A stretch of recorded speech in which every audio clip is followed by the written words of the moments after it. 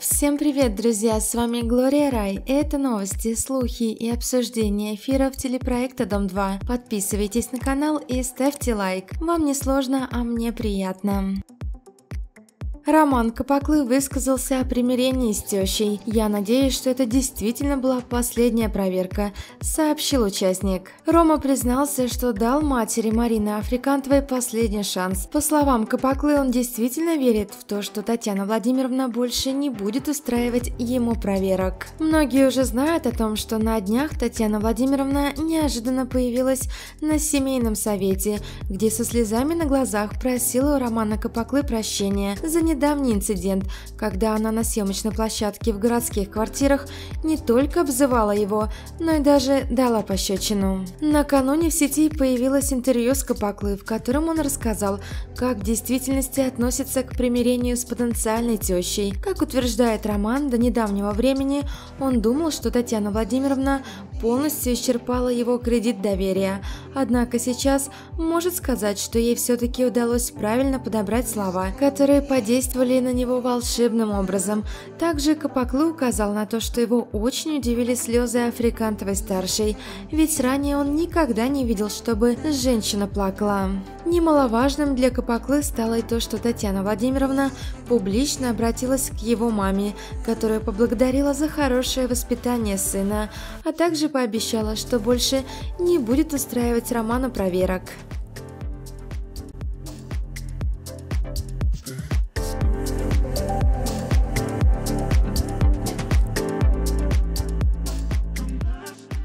Кстати, Марина Африкантова после длительной болезни потеряла голос и ищет способ вылечиться до своего бракосочетания, которое должно состояться у ребят уже сегодня. Болею вторую неделю, температуры нет, есть страшный насморк и кашель. Голос сел, разговариваю вообще как не смазанная телега, пожаловалась участница Дома-2. Марина Африкантова и Роман Капаклы проведут первую брачную ночь королевских хоромах. Пара празднует свадьбу 14 июля.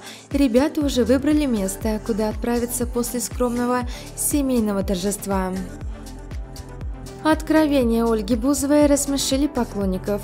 Умеет Оля задать работу хейтерам, как скажет что-то или напишет на своей странице. Так антифанаты прямо закипают.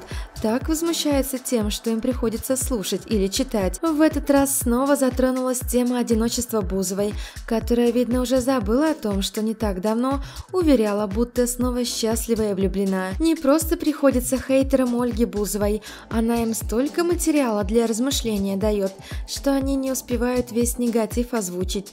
На днях она, например, снова решила взгрустнуть о том, что она одинока, нет рядом мужчины и приходится ей осваивать мужские функции. Постоянные жалобы Бузовой, которая осваивает какие-то там функции, начинают злить даже тех, кто старался придерживаться нейтралитета и не торопиться с критикой. Ольге напомнили, что в современном мире, где главное иметь деньги, чтобы оплатить любую работу, вообще несложно жить одной. Стоит отметить, отметить, что Ольга действительно до сих пор периодически говорит о том, что так никого не смогла полюбить после развода.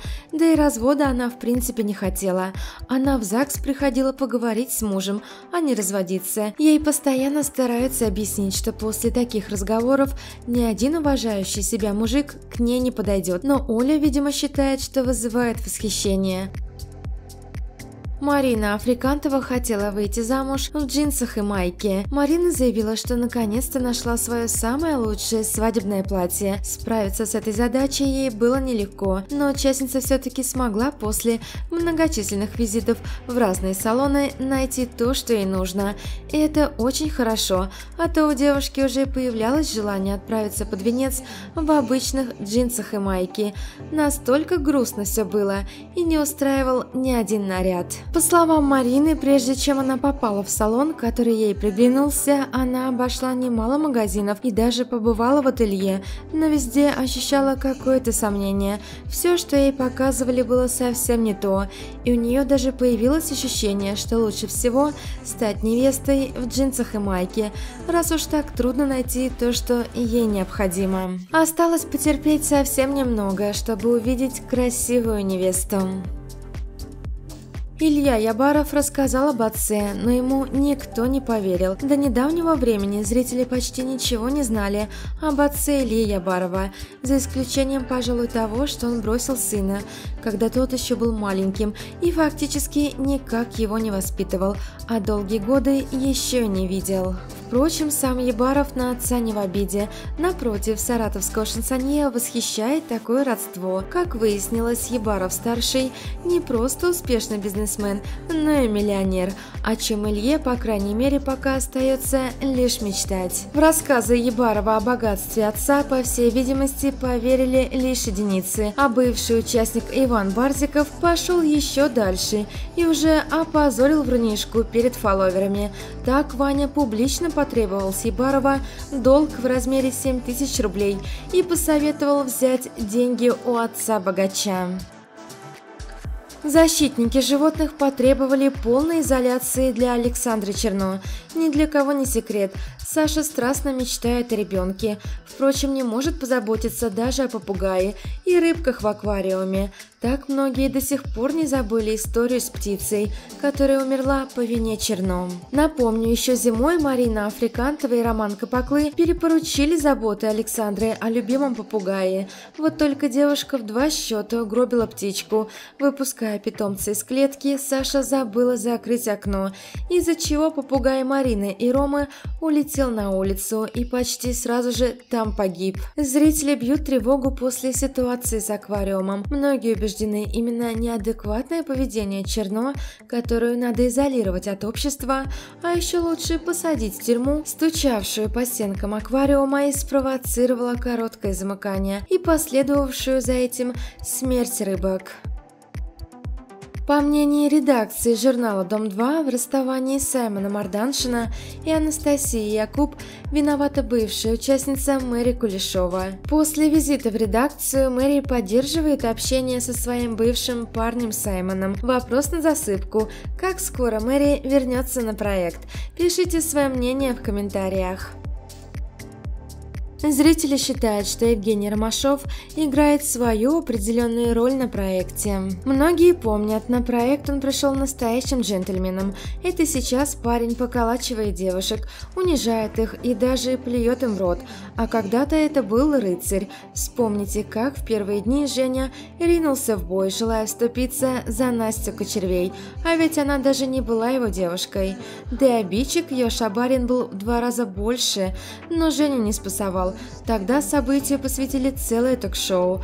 Женю назвали героем, а сам он сказал, что терпеть не может насилия над женщинами. Однако, похоже, тема Жени героя не пошла. Скорее всего, сценарий переиграли.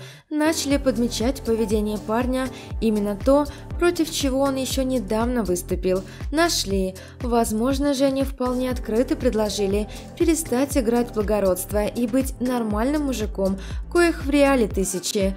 Он согласился, и теперь бывший джентльмен и защитник слабых строит женщин не хуже, чем в армии. По мнению телезрителей, Ромашов отрабатывает халяву в образе скрытого насильника, который оправдывает себя тем, что женщины сами этого хотят. И теперь он не поэт-романтик, а зацикленный на сексе волшебник, который даже свидание делает в стиле видео для взрослых, а песенки и гитарка это тоже всего лишь антураж для сексуальных игр. Согласны с мнением зрителей?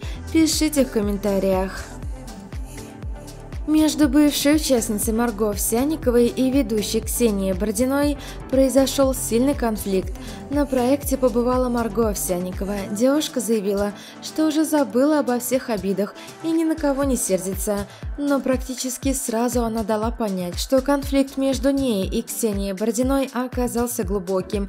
Фолловеры засыпали блондинку вопросами и упреками после того, как она написала, что ей смешно наблюдать за стареющей женщиной, которая боится наступающей на пятки молодежи. У Марго спросили, что случилось, почему она так изменила свое мнение о походе на проект, почему вдруг говорит о Бородиной неприятные вещи, ведь та ее поддерживала, уверяя, теряют зрители. Но толкового ответа от Маргариты так и не получили.